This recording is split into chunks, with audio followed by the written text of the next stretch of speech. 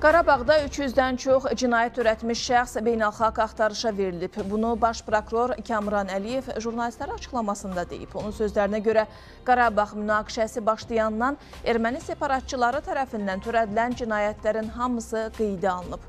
Tərəfimizdən həmin cinayətlərlə bağlı sübutlar toplanılıb. Ümumilikdə belə 300 cinayət işi açılıb. 300-dən çox cinayət törətmiş şəxs beynəlxalq axtarışa verilib. Həmin işlərlə bağlı sübutlar var, deyə Kamran Əliyev qeyd edib.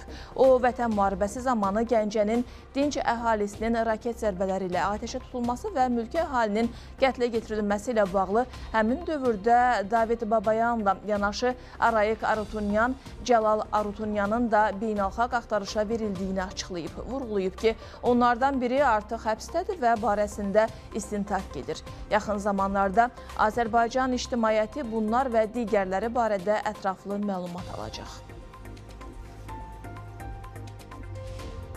Vətən müharibəsi dövründə Gəncənin dinc əhalisinin raket zərbələrinə e, deməli tutulması və mülki əhalinin qətlə yetirilməsi, günahsız insanların, uşaqların, qadınların və bu işlərlə bağlı həmin dövrdə David Babayan tərəfimizdən e, Arayik Arutunyan, David Babayan və Cəlal Arutunyan həm üç şəxs axtarışa verilmişlər. İndi onlardan artıq biri bilirsiniz ki, artıq istifadə həbsdədir və barəsində istintaq gedir.